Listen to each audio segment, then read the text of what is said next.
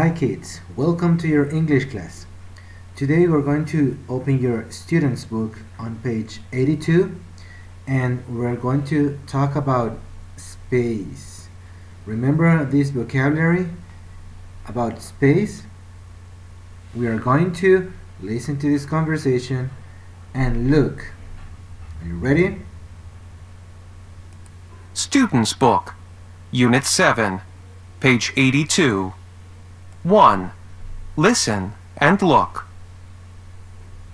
What do you want to be when you're older, Carla? I want to be an astronaut. I want to travel in a spacecraft and I want to go into space. Me too. Look, I have a book on space.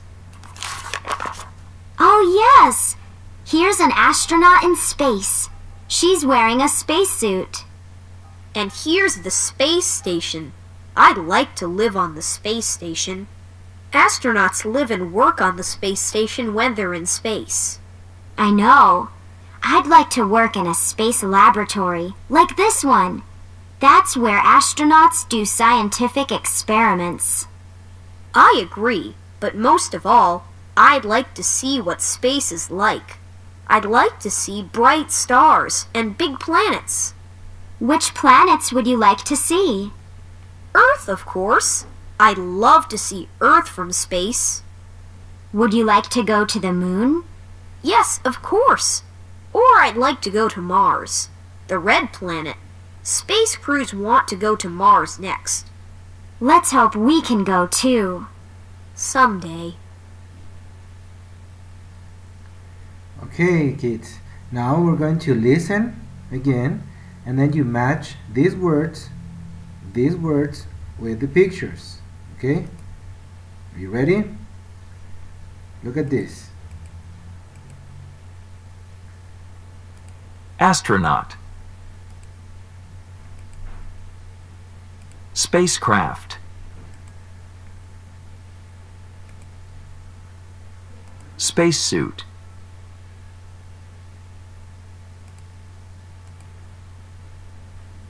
Space Station Space Laboratory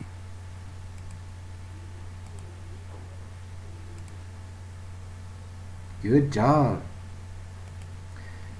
Now, we're going to listen and guess the words. Okay?